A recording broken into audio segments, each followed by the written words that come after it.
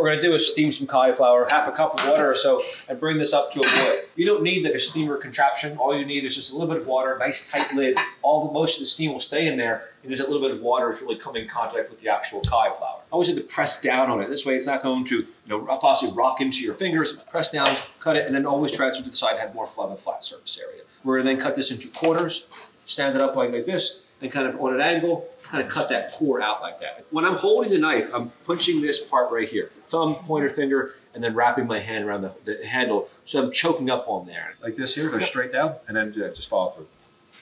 Cutting the, the uh, inside out there. And we're gonna break these down into just basically little smaller florets, about this size right here.